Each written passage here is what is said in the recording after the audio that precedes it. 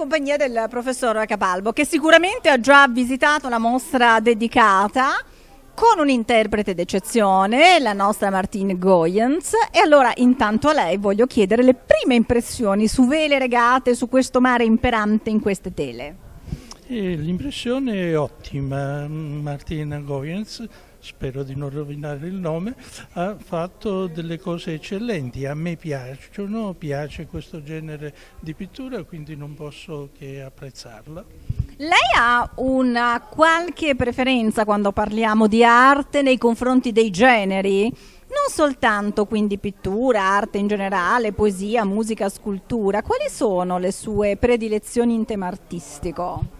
Ma, i, I classici, noi viviamo nella patria delle grandi opere d'arte, peccato che non lasciamo che si apprezzino più di tanto. Io sono molto d'accordo con mio amico Vittorio Sgarbi quando dice che non sono sufficientemente valorizzate le cose che produciamo. Indubbiamente i nuovi talenti che eh, si ispirano alla nostra eh, pittura, alla nostra arte in generale, classica e ne traggono grossi benefici perché hanno delle fonti a cui poter attingere per esprimere il loro talento. Del resto ha detto bene professore, l'unico che anche a mezzo del servizio pubblico parla d'arte è proprio Vittorio Sgarbi al quale eh, Virus, il contagio buono, ha ceduto parte del, diciamo, del suo percorso giornalistico. Come mai se ne parla così poco secondo lei in televisione in particolare? Perché il servizio pubblico non se ne occupa? Di che? Di Vittorio? No, dell'arte. Ah, dell'arte? E beh, nemo profetto in patria.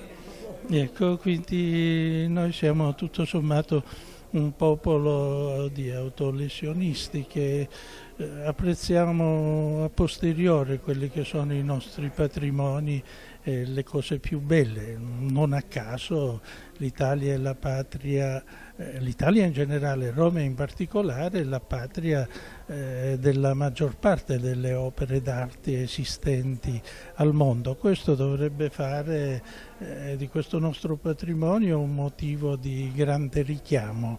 Invece strutturalmente, qui ritorno a Sgarbi, ma non solo a lui, a lui non siamo organizzati a sufficienza perché solo da questo se ne potrebbero trarre benefici economici incommensurabili. Se poi poco poco decidessimo di far girare un po' di più le nostre opere anziché tenerle sepolte nei sotterranei dei vari musei perché quello che si vede è, è una minima parte, una minima parte rispetto a quello che invece potrebbe essere ammirata, apprezzata e valorizzata. Grazie, concordiamo pienamente con eh, la tesi che lei ci ha esposto, ai video ascoltatori di Liberi TV le sono grati.